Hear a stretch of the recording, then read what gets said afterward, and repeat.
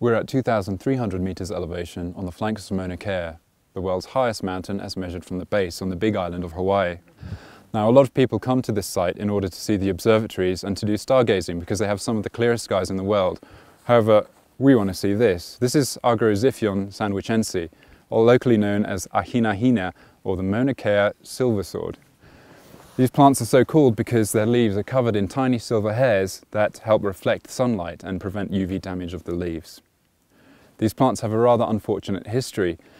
Um, in the 18th century, ungulates, particularly goats, were introduced to the islands and those ate everything because there's not a lot of natural vegetation up here. Unfortunately, this species suffered the most and originally numbering in the thousands, by the 1930s the population was reduced to about 40 or 50 plants, mainly in really inaccessible areas on cliffs where the animals couldn't get to them. However, there are now programs in place that have collected seeds from the wild germinated them in nurseries, excuse me, and reintroduced them to sites like this one, where the plants are developing and flowering all around us, which is just tremendous.